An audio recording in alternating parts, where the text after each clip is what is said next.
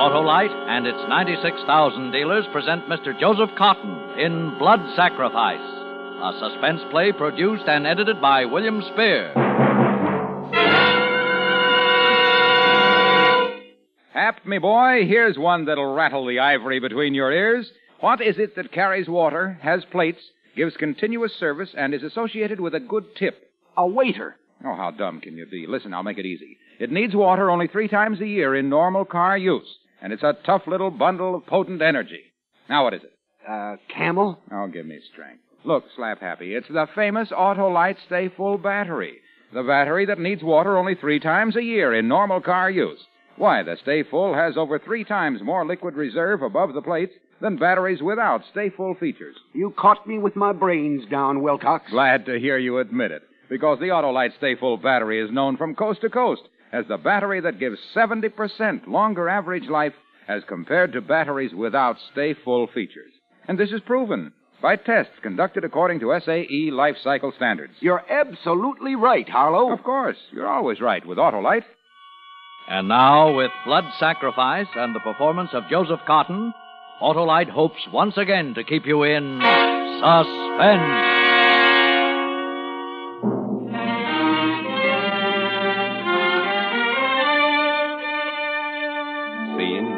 Dressing room. Gary, his arm through mine, his great beautiful voice purring assuringly in my ear. It's wonderful, Johnny. Wonderful. 200,000. Why, they didn't pay that for Gone with the Wind. You're a success, boy. A success. A success. And well on the way towards being rich. On the marquee above the theater in lights, Garrick Drury in Bitter Laurel, and then in slightly smaller lights by John Scales. New clothes, best food, a fashionable hotel, new and fashionable acquaintance. And I owed it, every bit of it, to Garrick Drury. Everyone said that, everyone except Gary. We had just finished seeing the men from the motion picture company. Gary had been charming, courteous, thoughtful, protecting my royalties, protecting his rights, and finally they were gone. Walters, Gary's valet, came into the room. Anything else, Mr. Drury? Not tonight. I'll pick you up in the car at the stage door at five minutes. Yes, sir. I'm going to see Mr. Scales to his taxi. Sure I can't drop you anywhere, John? No, no, quite sure, thanks. Glad to, you know. Oh, uh, Walters. Oh, yes, sir. Bring along that play of young, uh, what's his name, Ruggles, Buggles, you know who I mean. I promised Fanny Taylor I'd read it, but, uh, well, it's perfectly useless, of course. We'll be playing Bitter Laurel for another two or three years yet. Eh, what, John? Well, come along. Five minutes, Walters. Oh, yes, sir. Now, look here, John. Don't you worry about this movie deal. I've handled these characters before. Before. Before! Oh, listen to that, John. Wonderful sound. The empty theater. The empty, echoing, endless theater. John, you know what? Sure. There's a play in it. In the last scene, the actor dies in the empty, endless theater, pouring out his death on eight pages to the ghosts of all the audience who didn't realize how great he was. Alone. His wife's gone to, uh, uh, Hollywood. perfect. Well, what are we waiting for, Johnny? I'll put you in your taxi. You go home and write it. Bring it to me tomorrow night. We'll fix it, and there we are. I can read the notices now. They're sensational, aren't they? Garrick Drury does it again. Actor's death scene draws bravos. Sir Garrick Drury, maybe. Well, come on. We'll get you on your way. Good night, Mr. Drury. Thought your performance was exceedingly fine tonight. Thank you. Good night, Scotty. Waters will be right out. You can lock up. Good night, Mr. Drury, Mr. Scales. Good night, Scotty. Well, this is it's raining. There's a cab stand right at the corner. We make a run for it. John, look out!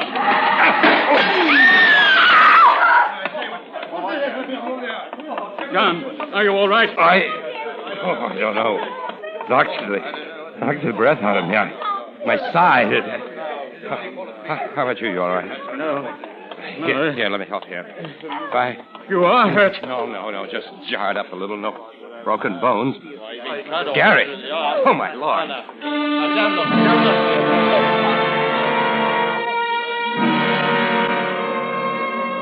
I picked myself up from the curb where the car had thrown me when it hit us. My side hurt and my head reeled, but Gary. Uh, I saw him stagger out from the Other side of the car, saw the jagged pane of broken glass in the store window. Saw the bright spurts dyeing the pavement crimson where Gary's right hand clutched his left arm. A policeman came running toward us. Uh, yeah, yeah, what happened? It's Mr. Drury, officer. The, the car skidded over the curb, then knocked him through the window. Here, let's have a look now. Hmm. Oh, catch him, catch him. He's going faint. They've got him now. Oh, and no wonder. He's got an artery. Hey, you, call an ambulance. Get a doctor. This man will bleed to death if we're not quick.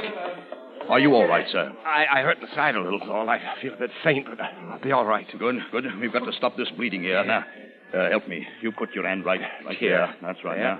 Now, now uh, squeeze hard. Yes. And keep on squeezing. Uh, hey, like you, you over there. Come on, give us a hand. I'll take his head. You take his feet now. Easy does it. Up. Uh,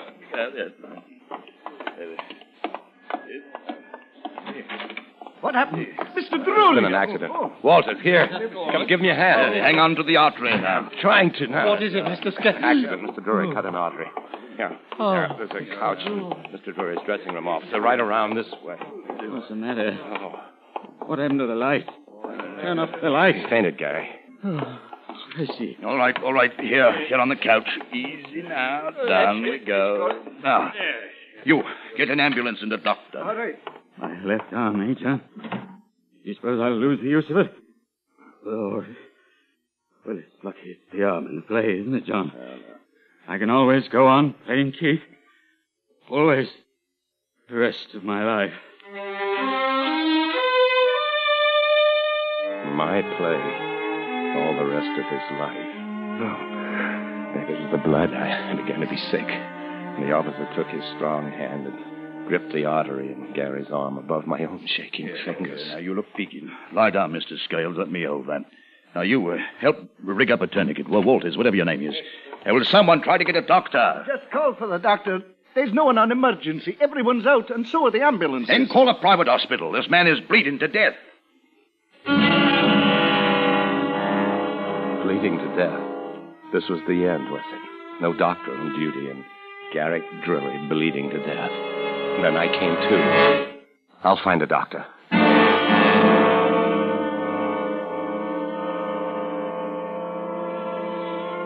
But it was 40 minutes before the doctor finally came. 40 minutes while Garrick Drury's life seeped out from the improvised tourniquet. The doctor set down his bag and took one look. We're still trying to get hold of an ambulance, Doctor. Oh, never mind. We couldn't move him now anyway. There's only one thing to do. Give him a transfusion right here. Yes. Well, first we'll make a decent tourniquet. I'll test his blood for type. Oh, uh, by the by, wait around, all of you. I have to find someone among you with type of blood that matches his. Gary lay on a couch behind a screen in his Oh, uh, dressing room. I take. And there was a plate on the table, you, one with a border of pink roses from which, during rehearsals, we'd often eaten hasty sandwiches. Now there were four round blobs of red on it. table for me. Blood. Two blobs of mine and two of Gary's valet, Walters. Behind the screen, Walters was blubbering with grief while an intern, arrived at last with the ambulance, was murmuring fearfully. But, Doctor, I can't find his pulse. You can't. What? Wait a minute. Here, you idiot. Let me see. Yes, of course, here it is. But we must hurry or we'll be gone. Steady now, Walter. Steady. We know you love him. We're doing all we can. Now, let's go look at those tests. The important thing is to give a transfusion as soon as possible. Oh, let me give it, sir. I'll give my life for Mr. Drury. Let me give the Ah, transfusion. no, no, no, no, sir, no. We'll see. I've already told you Drury's blood is type 3, very difficult. Can only give him a transfusion from someone of his own type or a type 4 universal donor. Anything else would be like giving him prussic acid. I only hope that you or Mr. Scales will do. We'll have to make sure. All right, now let me see. The doctor bent over the plate, pouring liquid out of vials onto the red drops. I stood where I'd been standing when he put the blood onto the plate before the intern's voice had cried out. Doctor, I can't find his pulse. Walters and the doctor had plunged around the screen to where Gary lay unconscious. I watched while the doctor finished with the vials. Then he picked up a grease pencil from the dressing table and drew a line across the plate, cutting it in half. Then, with the pencil, he marked the side on which I stood with an S and the side on which Walters had stood with a W. There now. Now we'll be sure of which is which. It will take a few minutes to see if there's any agglutination. Oh, let's hope. That's all we can do is hope. And he disappeared once again behind the screen. It was then that I noticed the one rose on the border of the plate which had been blurred in the firing. I'd noticed it before many times. I've noticed it today in the last few minutes, looking stupidly at it, as you do at such things. But before, before the doctor had marked it, before he and Walters had gone running behind the screen, then hadn't the blood rose been on the left, my left? But now it was on the right. Might Walters, in passing, have brushed it and turned it around? I stood and stared at the tiny pool on the side marked W.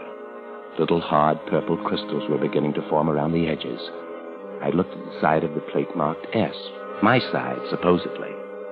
The blood was clear and bright. But what if the plate had been turned around? And the blood on the other side was mine. It was mine that was forming little purple crystals. I stood staring at the plate as the doctor came around from behind the screen. Now, let's have a look at this.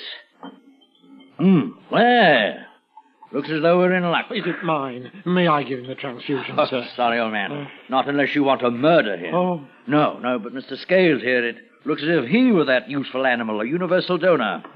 All right, Mr. Scales, let's make ready. What? You're it, Mr. Scales. I. Oh, there's something I ought. Uh, well, I ought Oh, to mention you're, that. uh, You're not frightened, are you? There's No, not that, no I- danger from giving a transfusion, you know. no, The donor, that no, is. no, no, no. I'm not then frightened, come doctor. I around said- here and let's get busy. We haven't much time. Doctor, I. I Hello, John, old fellow. Okay. What's this? Final curtain? Oh, don't be silly. Such a rotten exit. Dying, Egypt. Dying. Oh, yeah. Not dead yet, not by a long shot. Now, take off your coat, please, Mr. Scales, and roll up your sleeve. Rotten exit. Rotten break for you too, John. I'll have to close the play. Close the play. Close the play. I'm ready, Doctor. Yes, to be sure. Now sit down here. Hold still. You will hardly notice this. Make a fist. Like Tight. This? That's it. Uh, maybe feel a little dizzy for a minute afterward, but in an hour you'll be as right as rain. That's all right. Now, now still. Ah. Yeah. Not bad, was it? Uh, lie back. That's right. Good old John. Give me.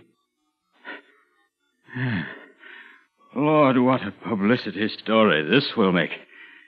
Playwright at actor's bedside gives blood to save famous star's life.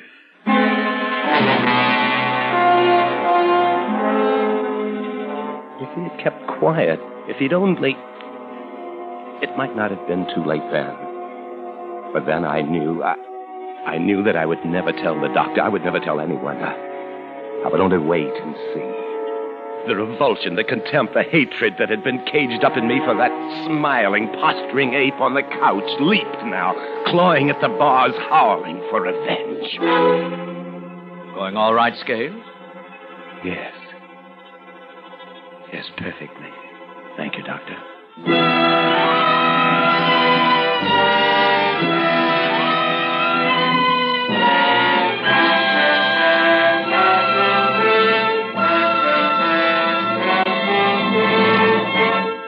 Autolite is bringing you Joseph Cotten in Blood Sacrifice. Tonight's production in radio's outstanding theater of thrills, Suspense.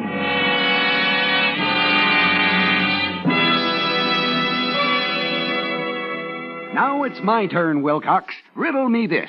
What is it that lives a long time, has great power and endurance, and can store water? Well, that's easy, Hap. An Autolite Stay Full battery. Oh, no. Yes, yes. That Autolite Stay Full battery needs no more water than a cactus because it has more than three times the liquid reserve above the plates as compared to batteries without Stay Full features. Stop that, Wilcox, and answer my riddle. Now, let's see. Now, you mentioned long life. The Autolite Stay Full battery has a fiberglass retaining mat protecting every positive plate. That accounts for its incredibly long life. Why, recent tests based on SAE life cycle standards prove that Autolite Stay Full batteries give 70% longer average life than batteries without Stay Full features. You're not even getting warm, Wilcox. Why, man, this Autolite Stay Full battery is tops in batteries. Talk about power, it's phenomenal. Endurance, sensational. And remember, it's the battery that needs water only three times a year in normal car use. Elephants is what I had in mind, Harlow. But I'm right too, Hap, because you're always right with Autolite.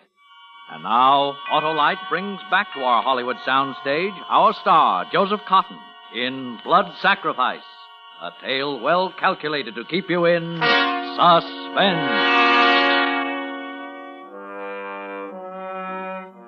I lay back there on the chair in the dressing room. The doctor had been right. There was no pain about it. I could feel little tinglings as the blood said goodbye to my body on the way to inhabiting the much bluer veins of a distinguished actor. No, no, I felt nothing. Only a gentle warmth after a while and a lovely serenity. And with it came little visual effects inside my closed eyelids, a kaleidoscope like they use in films to dissolve into flashbacks. That, that was it. Yes. I was having a flashback. I hadn't wanted to send the play to Gary in the first place, but I was new in London, and good old George Philpotts, who was handling me, said he had a hunch about it. Everything to gain, my boy, nothing to lose. May as well try, you know. Can't get hurt trying. Lord George, Garrick Drury, it's just just not his kind of play. It's a, it's a tragedy, a bitter, cynical, disillusioned tragedy. Well, he may. He just may like it, you know. I'll send it along over to his hotel. We'll see.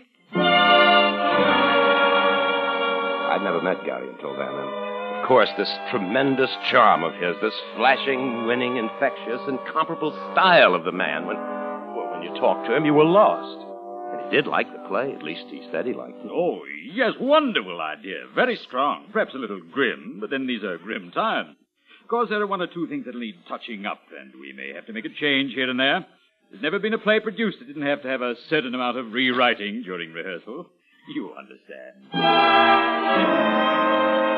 I didn't understand. I was still too bewildered to understand. The man had this fantastic charm, and he'd used it. Before I was out of his office, I'd signed a contract giving me a very pretty share of the royalties, and Gary the right to make any reasonable changes he might deem necessary to the script. Reasonable changes. During rehearsals, we'd sit halfway back in the theater. And... Oh, John, I've been thinking. Yes? The cocktail scene in the first act it bothers me. It seems out of character. What do you mean?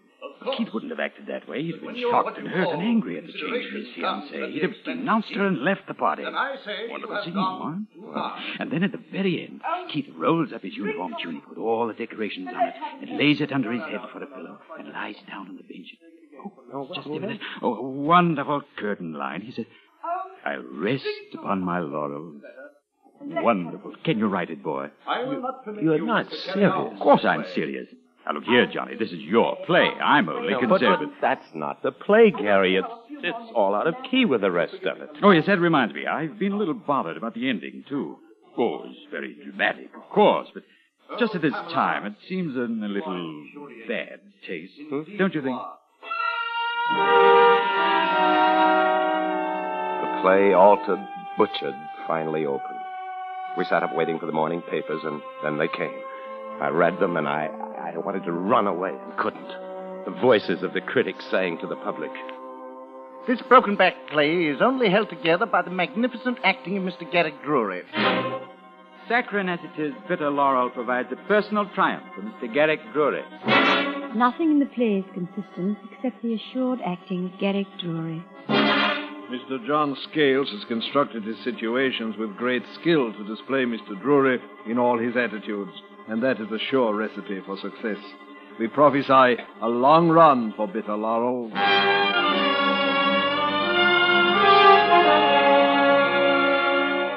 and run it did. There was no stopping it. I caught myself wishing Garrick Drury would die or lose his looks or his voice or his popularity so that the whole thing could be buried and forgotten. Well, now, perhaps he was going to die. I watched the blood from my veins fill up the container. I thought of the blurred rose on the plate that might have got turned around. I heard Walter still complaining about something. I listened to the doctor. Blood won't do it at all, Walter. Lucky for Mr. Drury that Mr. Scales was around. Good man to have around. Universal donor. Blood mixes with all types. But was it my blood or Walter's that mixed with all types? I didn't know. I, I couldn't be sure. Yet somehow I was sure that the plate had been turned around, and that would mean that if the doctor used my blood for a transfusion, that. What was it he'd said? It would be like giving Gary prussic acid. It would be murder. no one would ever know. The doctor might guess, but he would never dare speak. It would be put down to his own negligence. He came over to me and looked at the level in the container and nodded his head approvingly and then turned to Gary again. I felt myself pulsing and drifting like a man dozing in a snowdrift. Flower for your sir. Flower for your left hand. Good evening, Florrie. Oh, good evening, Mr. Oh, Drury. Oh, Looks like rain, don't It it? does indeed.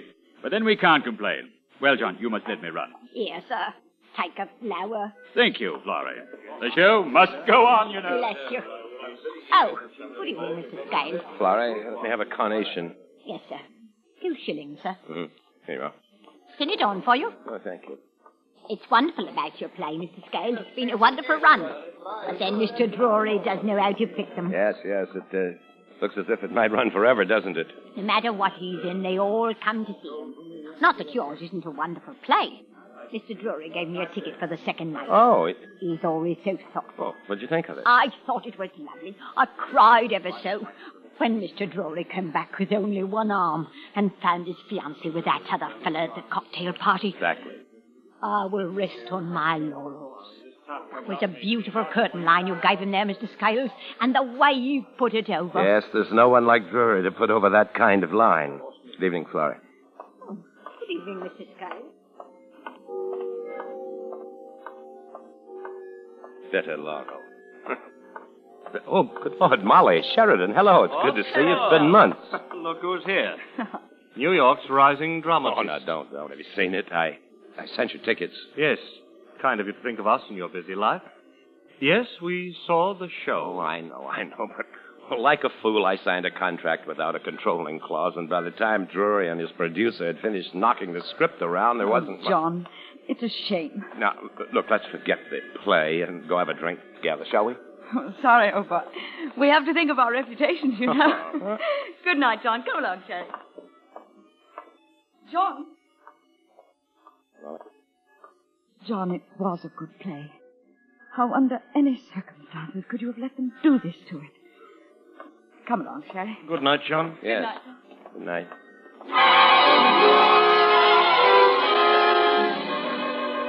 Ah, fine. Almost full court. That ought to do it. Feel all right, Mr. Scales? Yes. Good. Now we'll throw you out of here and go to work.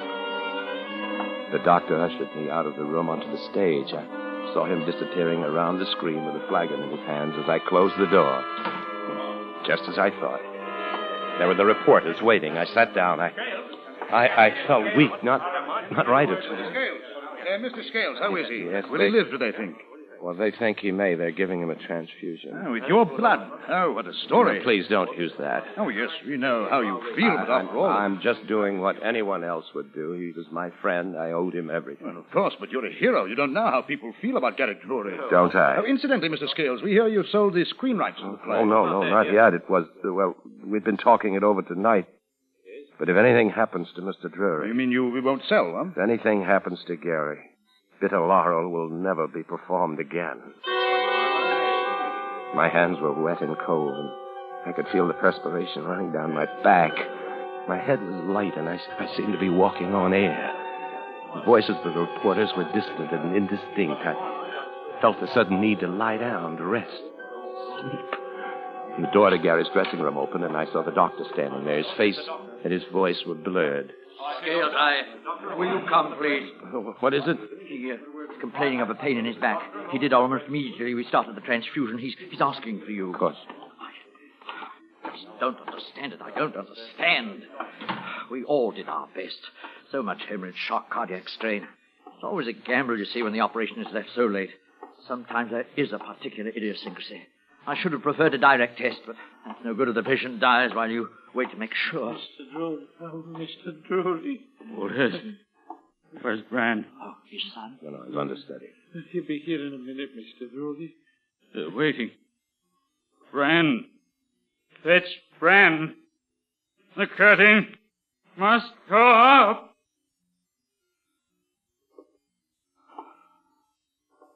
Oh, I don't understand it. Yes, Yes, yes, he's dead. Why did he die, Doctor? Blood transfusion, but I don't understand it. Mr. Scales is a type 4 universal donor. Still, there are sometimes personal idiosyncrasies. Here, I.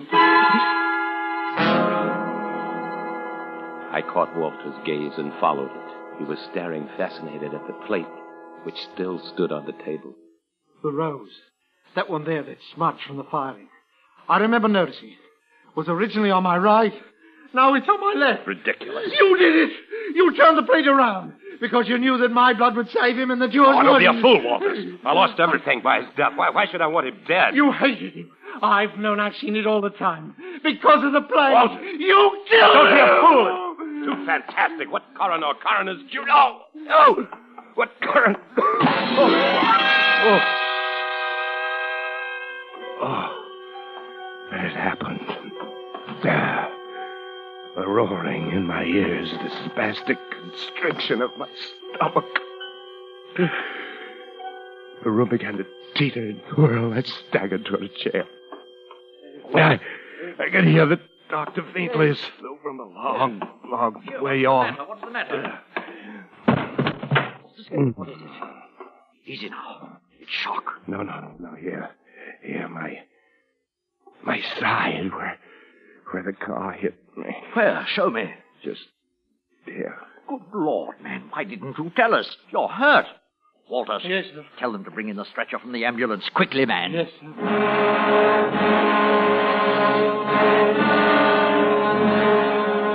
It's ironic. oh, when the car hit me, it, it was an injury to the spleen. the spleen, think of it. so you see, all the time I was giving Gary blood for a transfusion, I was bleeding to death inside myself. Ironic, isn't it? Death from shock and loss of blood. They, they gave me a transfusion, too. Too late. But I wouldn't have to die, they said. I, I would have lived if, if I hadn't given my blood to kill Garrick Drury.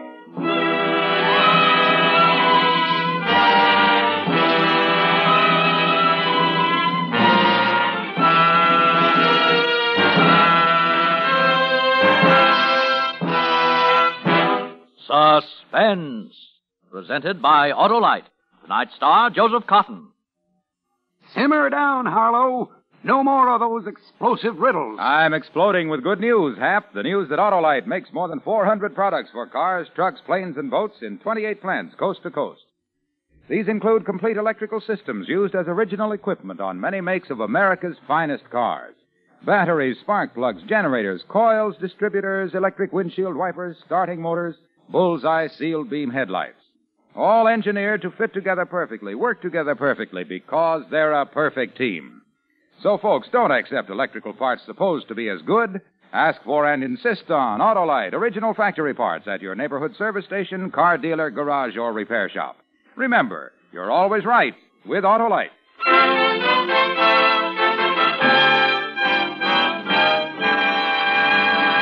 Next Thursday for Suspense, our star will be Cary Grant. The play is called Salvage, and it is, as we say, A tale well calculated to keep you in suspense. Tonight's suspense play was produced and edited by William Spier and directed by Norman Macdonnell. Music for Suspense is composed by Lucien Moraweck and conducted by Lud Gluskin. Blood Sacrifice was adapted for radio by Malcolm Meacham from the short story by Dorothy Sayers. Joseph Cotten may currently be seen in the Carol Reed production The Third Man, a David O. Selznick release. You can buy Autolite Stay-Full batteries, Autolite resistor or regular spark plugs, Autolite electrical parts at your neighborhood Autolite dealers. Switch to Autolite. Good night. This is CBS, the Columbia Broadcasting System.